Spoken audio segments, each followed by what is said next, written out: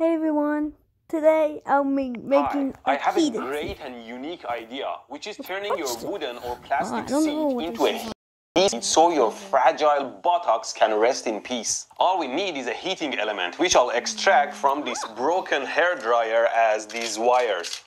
So here we are. I hot glued these wires to my seat. Don't do with that. Their end I don't know. connected to a cable where I can just plug into the wall. Okay, there we are. Where the f is it?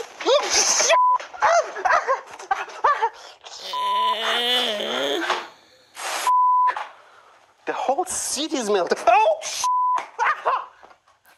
In hindsight, mounting a heating element with hot glue is a pretty dumb idea because the glue can melt and stick somewhere else.